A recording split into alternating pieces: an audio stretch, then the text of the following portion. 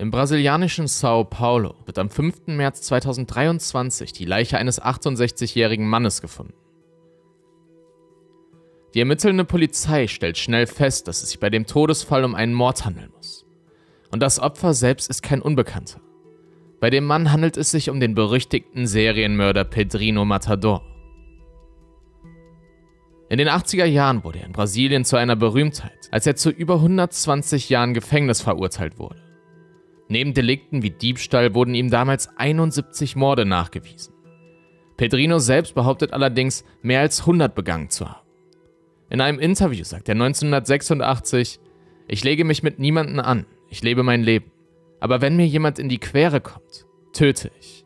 Jeder, den ich getötet habe, wollte mich herausfordern und sich mir in den Weg stellen. Wenn ich zu meinem ersten Schlag ansetze, kann ich mich nicht mehr beherrschen. Ich bin einfach so. Ich töte, ich töte, ich töte. Im Alter von nur neun Jahren sei Pedrino laut eigenen Angaben von zu Hause abgehauen und sei seither auf sich allein gestellt gewesen. Sein Vater sei nicht nur alkoholabhängig, sondern auch gewalttätig gewesen. Pedrino schlägt sich mit Raubüberfällen durch und lebt in Hotels. Im Alter von gerade einmal elf Jahren habe er dann zum ersten Mal einen Menschen umgebracht. Er habe einen Drogendealer nach einem Konflikt mit einer Schusswaffe ermordet. Darüber hinaus kursieren Gerüchte, er habe im Alter von 14 Jahren den stellvertretenden Direktor seiner Schule erstochen nachdem dieser ihn zu Unrecht bestraft hatte. Darüber hinaus soll Pedrino im Alter von 18 Jahren seinen eigenen Vater, wegen dem er sein Elternhaus verlassen hatte, umgebracht haben. Laut entsprechenden Mythen, die sich inzwischen um die Person Pedrino Matador ranken, soll er seinem Vater das Herz entnommen und ein Stück davon gegessen haben. Inwiefern Mythos und Realität hier wirklich etwas miteinander zu tun haben, vermag ich nicht zu beurteilen. Im Alter von 19 Jahren wird Pedrino zum ersten Mal verhaftet. Noch während er im Polizeibus zum Gefängnis transportiert wird, begeht er seinen nächsten Mord und bringt unbemerkt vom Personal einen Mitgefangenen um.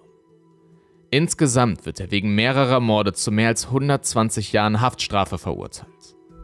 Doch während er inhaftiert ist, wird in Brasilien ein neues Gesetz erlassen, laut dem eine Haftstrafe nicht länger als 30 Jahre andauern darf. So kommt Pedrino Matador trotz der ganzen Morde 2007 wieder frei.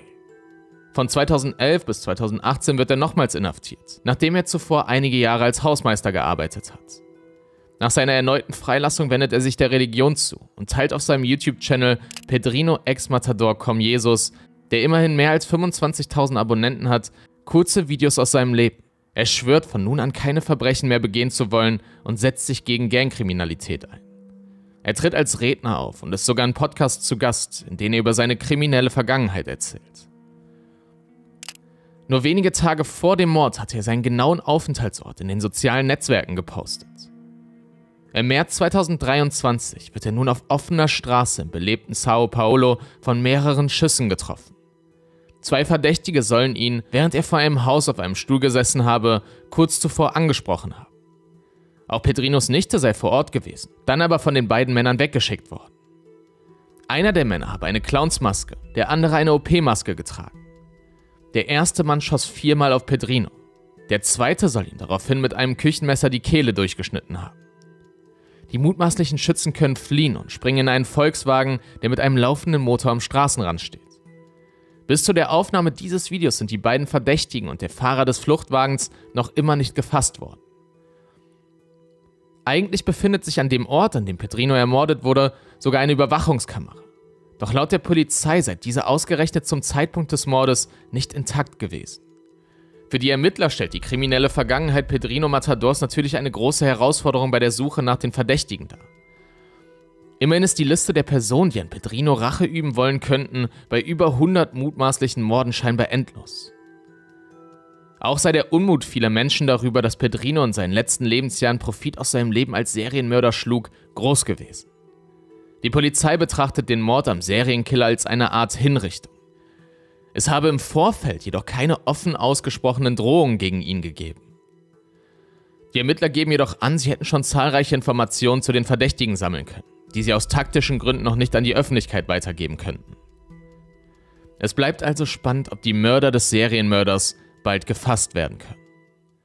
Wenn ihr euch generell für True Crime interessiert, von neuen Entwicklungen, Fällen erfahren oder öfter kurze Dokumentationen zum Thema anschauen möchtet, lasst doch gerne ein Abo da. Auf diesem Fall gibt es regelmäßig Fallupdates und Mini-Dokus, während ihr auf dem Hauptkanal wie gewohnt längere Videos findet. Ich freue mich wie immer über euren Support durch ein Abo und ein Gefällt mir. Vielen Dank fürs Zusehen und bis zum nächsten Video. Ciao.